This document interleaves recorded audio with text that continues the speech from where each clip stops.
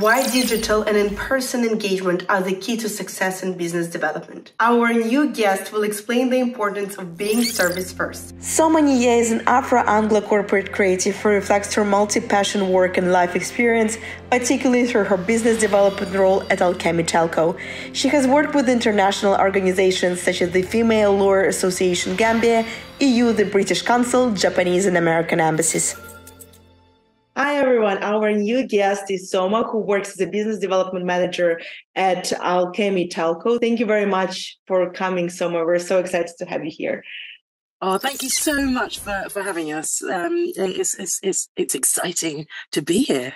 Absolutely. Considering your vast experience in business development management, what would you recommend as key success metrics which help you to drive forward the team? From the experiences that we've had in Over Business, it's great to have sort of the typical marketing uh, metrics, things like having a, a good number of followers, but most important, I think, is engagement, both digitally and in person. Because I found that even though uh, we're a digital company, uh, a CPaaS company, and it is our kind of um, bread and butter. The personal conversations that we have, and using those digital methods to keep up with, like yourselves, we linked up on on LinkedIn. You know, we we do most of our regular contact by engaging conversationally rather than those sort of vanishing metrics that are great to see, but um don't really move the needle, should we say? So it's great to have a like, but great to have a comment that really puts you into the room with someone. Could you please tell in more details how you drive this engagement and what helps you do that? Absolutely. Um, it is labor intensive. I wish that there was a magic wand that oh. we could say and say, wave this and shazam, your customers will turn in, you know, your your your um, audience will turn into um, into clients. Um, it has been a slow burn. Uh, we've been in business for I think now uh, seven years.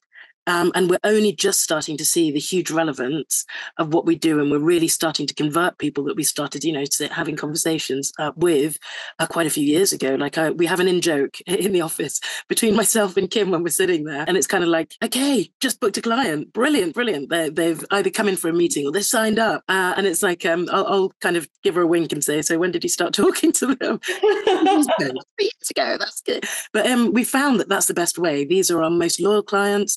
These are the ones who um, you can have that conversation with, where you can find out what their needs are and be the difference. It's great to be of service as well as to have a paying client. But we found that being of service first really sets you up to build a business model that's fair. Uh, working here in Africa means that quite often our price mark is less than uh, we would hope on, on, the, on, on the side of salaries on our side. But it really gives us a sense of fulfillment to know that we're pushing the needle not just for ourselves, uh, but for the businesses and of course their beneficiaries. Do you have any significant, I definitely think that you do have with your level of energy, do you have any astonishing stories from your career where these principles and this idea work really well. Gosh, it's kind of a daily occurrence because this is what we, you know, this is what we do. Um, it's those small conversations. You might meet someone or meet them online or mm. send an SMS to someone and have them forward it to someone else and that person come back. So I think um, if you look at Alchemy's kind of evolution, uh, Kim uh, started off selling groundnuts, um, which is so different to selling SMS and IVR solutions and CPaaS solutions. Uh, but what she found is she wanted to be the company that was missing in her value chain.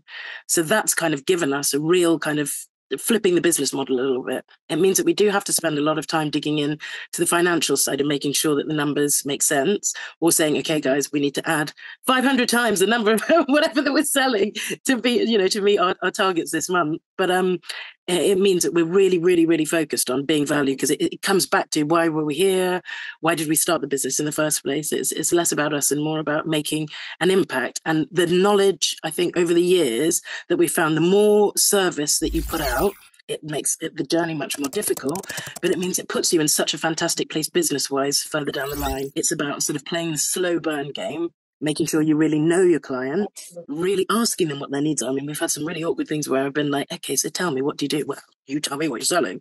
And it's kind of like, you know, it's sort of conversation where we just want to see how we'd like to help, but you tell me. Um, and it's, it's, it's, it's brilliant when you kind of get someone to trust you enough to let you in, you know, to to their business and to carry on that conversation in increments when we see something interesting. For example kim's brilliant at that and malik you know we'll send emails and be like this would be perfect for this person. It's nothing to do with us but i think it's it's going to be something that's going to be of service. And i think that's that's probably the thing that i've learned. You can learn a lot of businessy stuff but there's nothing more important than relationships when it comes to building a solid long standing business. That sounds fascinating. In our next episode, someone will share her experience working with African markets.